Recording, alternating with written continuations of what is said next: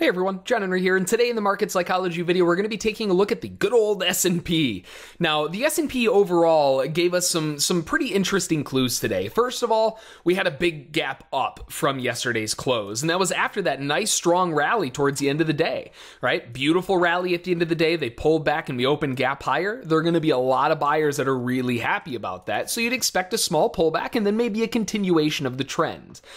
But then we need to start putting this in context, right? Where did we open? Well, we opened inside yesterday it, completely, right? Smack in the middle, pretty much, a little bit towards the highs, but still right in the middle of yesterday's movement. We did open above that prior obvious swing high, so we may see somewhat of a breakout pullback type scenario to that swing before the buyers can continue the movement. But then we get the first candle of the day, and it tells us, well, wait a minute, something isn't quite right here. Doji right off the bat, bunch of wick on the highs, bunch of wick on the lows, closes smack in the middle. So that tells us, well, wait a minute, this may not be a trend. We may actually have some signs of a range instead. We need to see what happens, right? We need to see what they want to do. Can they break out, pull back, and continue the bullish trend?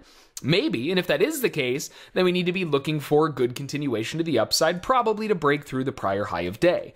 We get the breakout, they get the pullback, beautiful hold on that low. They only closed through it once and immediately closed back up and couldn't get back down underneath it. And that is a big sign that buyers are taking over in that area, and that is a beautiful reason to buy it, looking for that move back up through the highs.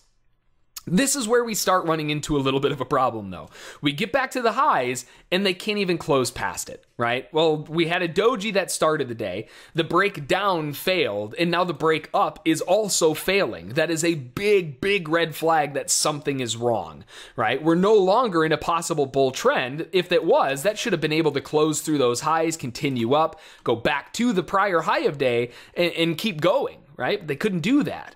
They closed weakly at the highs, and that is a clue that if you are still long and you haven't gotten your targets off, to exit and possibly even reverse, knowing that this is potentially turning into a range, the risk reward is phenomenal, right? Stop just above the highs, and you're looking for a move right back down to the lows and maybe even further to fill the gap. So you switch gears into what once was a potential bullish day, breakout pullback looking for continuation. We've now turned into a range day. Now we need to be looking to buy low and sell high and stay as far away from the middle as possible.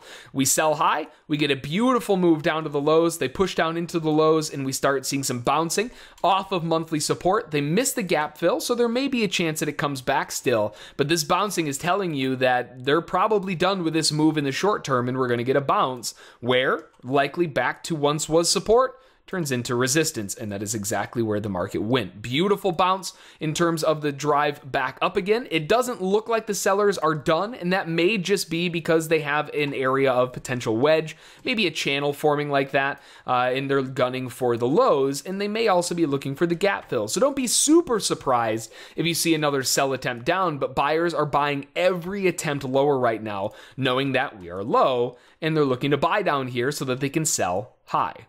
So, very interesting combination of both technical analysis and market psychology, and just a phenomenal day in general of learning, especially. So, hopefully, you found this useful. Hopefully, you found it interesting and you learned something. And we'll see you next time.